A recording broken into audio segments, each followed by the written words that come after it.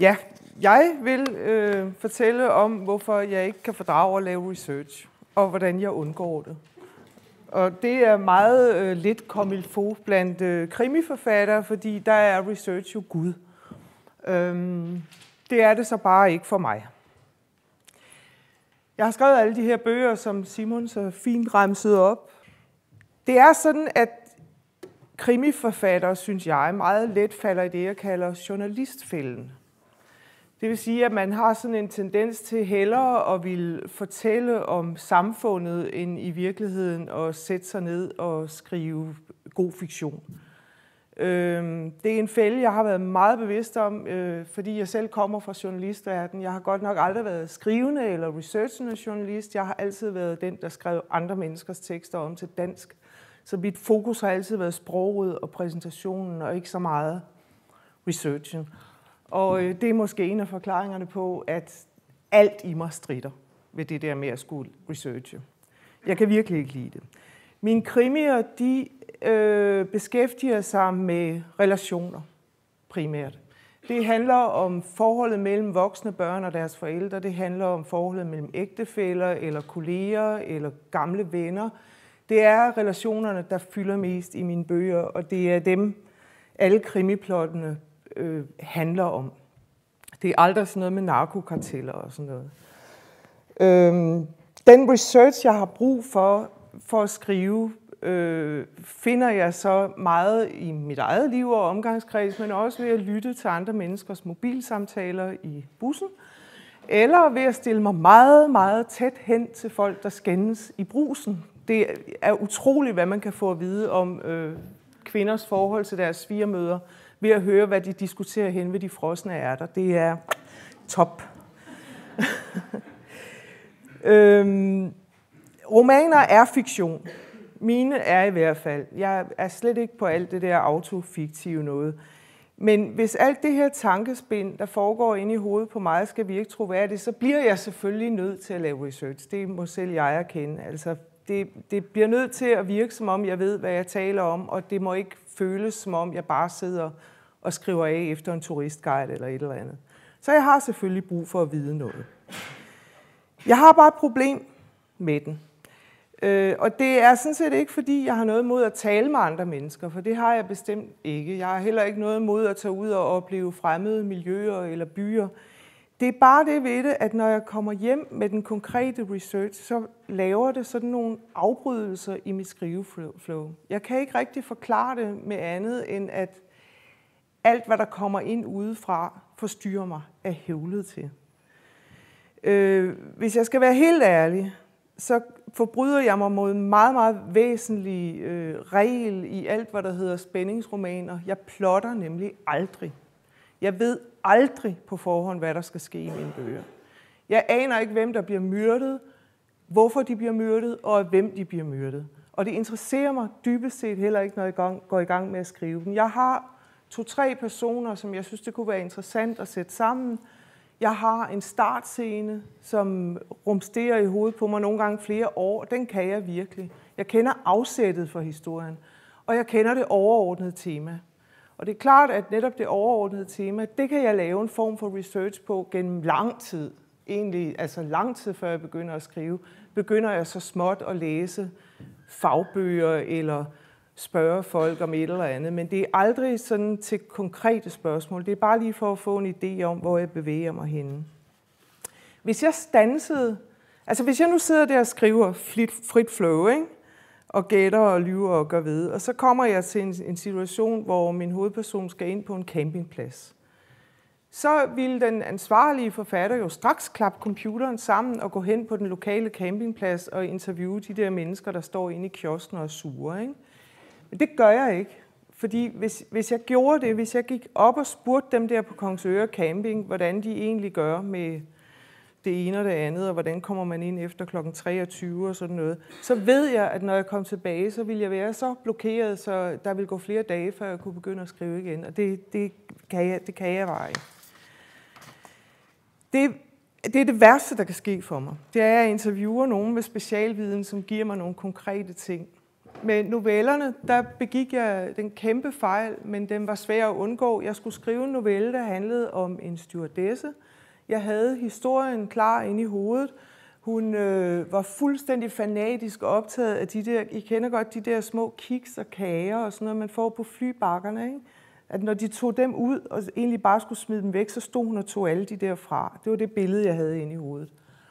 Og hende ville jeg skrive om, og selvfølgelig skulle hun have en eller anden form for spiseforstyrrelse, ellers så var det ikke så interessant med det her.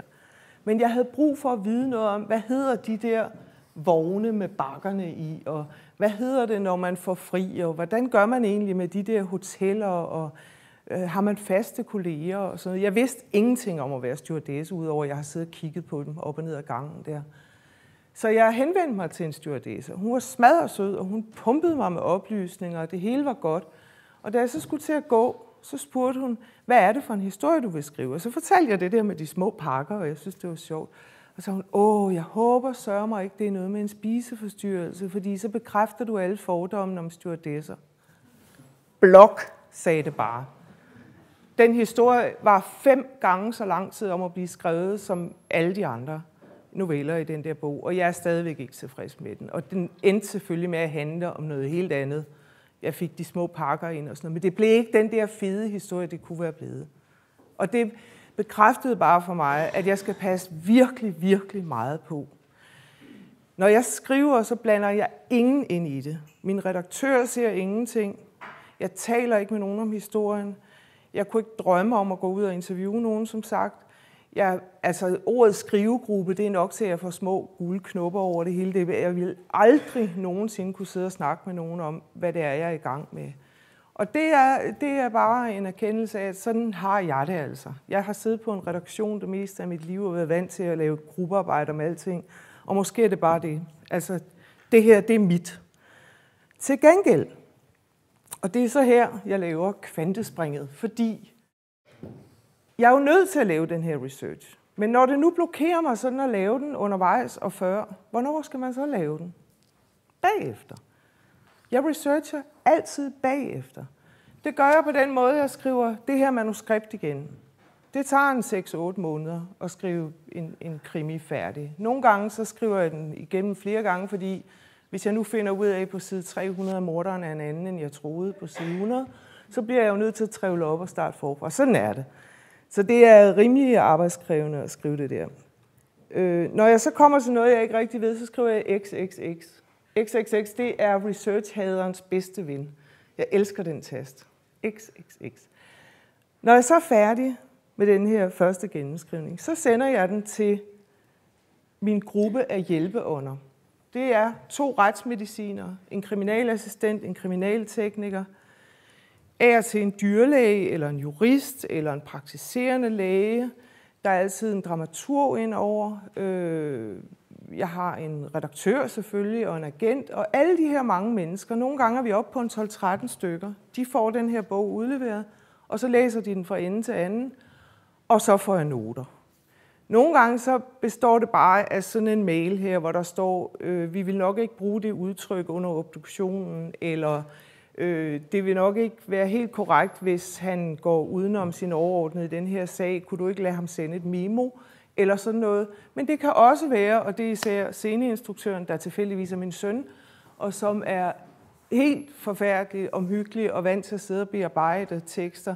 Han, han kan altså finde på at gå ind og sige, hele den her sektion, den bliver du nødt til at flytte herover.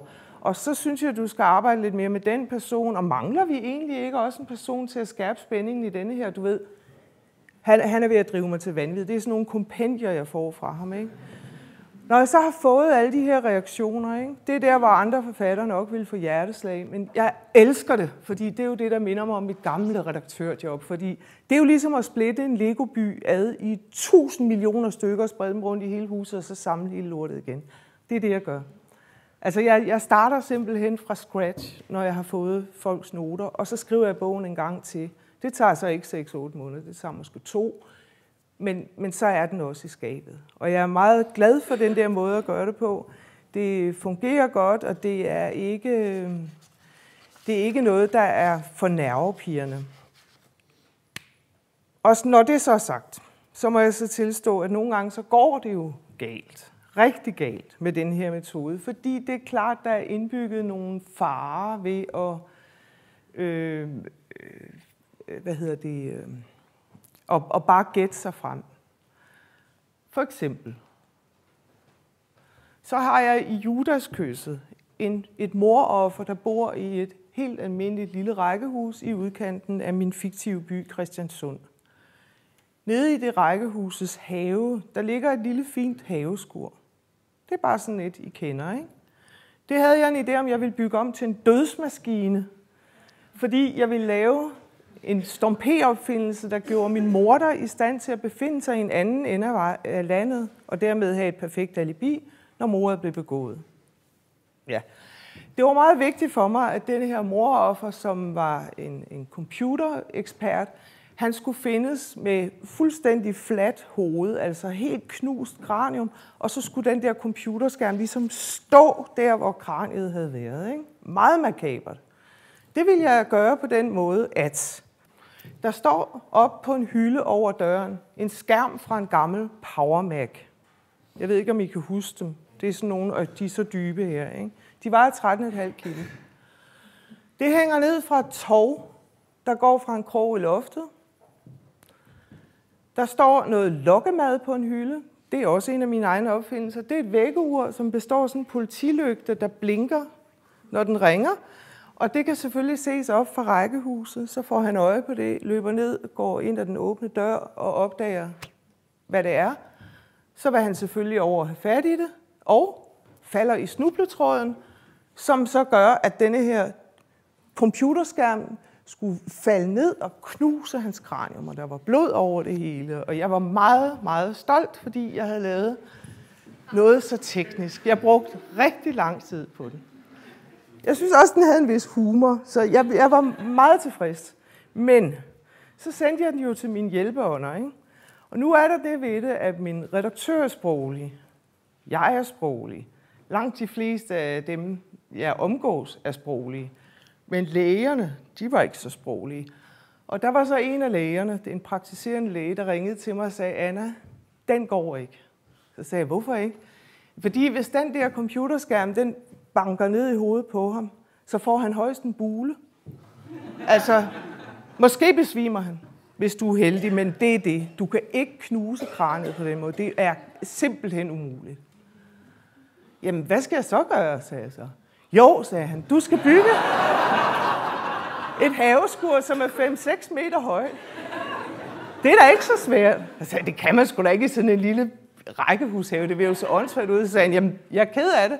Inde i det der haveskur, der skal du hænge computerskærmen op i et tog, som er 4-5 meter langt, op for den der meget solide krog i loftet. Og så skal du i øvrigt fylde den der PowerMax-skærm med 110 kilo flydende bly. Det her, det skal så falde lodret ned på hovedet af ham, og så vil måske vil kraniet blive helt knust. Det er ikke sikkert. Han vil dø af det, men det er ikke sikkert, du får det der knuste kranium, du øh, drømmer om. Og så så jeg sådan derude, fordi hvad fanden skulle jeg gøre? Og i starten, der gik jeg sådan rundt sådan på bedste Anna-måde og sagde, ah, det går nok, og det er der nok ikke nogen, der lægger mærke til. Og jeg fortalte det så til min redaktør, fordi ellers var det lidt pinligt, og hun sagde, ah, det er der nu nok nogen, der lægger mærke til. Hvis han gør, så er der også andre, og det vil være rigtig pinligt. Rigtig pinligt, hvis det begynder at blive sådan en historie, der kører ud i medierne. Ikke? Så jeg måtte beslutte mig for at gøre noget. Og jeg besluttede mig selvfølgelig for at holde fast ved min dødsmaskine, fordi jeg var meget stolt af den her dødsmaskine. Men jeg besluttede mig så for, at computerskærmen nu var en bule fremkalder. Og at mit morvåben i virkeligheden var den spade, der hele tiden har stået helt uskyldigt nede i hjørnet. Kan I se, hvad ulempen ved det her er? Ja, morderen kan desværre ikke befinde sig i den anden ende af landet. Morderen er nødt til at være til stede. Så i virkeligheden er det fuldstændig latterligt, jeg har lavet hele det her apparatur, fordi vedkommende er nødt til at være der. Men sådan er det. Så jeg måtte skrive halvdelen af bogen om, og få placeret min morter i lokalområdet. Øhm, og det fungerede jo alligevel. Jeg synes selv, at det er blevet ret øh, sjovt og ret makabert og alt det der, men øh, det er ikke, det var ikke sådan, som jeg drømte om, desværre. Og har jeg så lært noget af det? Jeg har i hvert fald lært, at øh, jeg slår mine ofre ihjel lidt mere enkelt. Altså, de bliver slået ihjel med kniv eller skub i ryggen eller et eller andet. Altså, jeg, jeg laver ikke en stompemaskine igen, fordi det har jeg simpelthen, det er ikke min spidskompetence.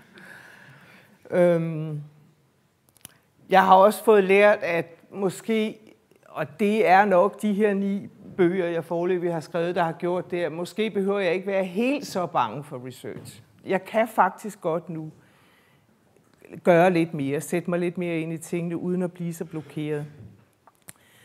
En, en af de kæmpe ulemper ved at lave meget research, i hvert fald for, for de journalister, der skriver krimier, og dem er der rigtig mange af, det er, at man får sådan en tendens til at ville videreformidle al sin viden.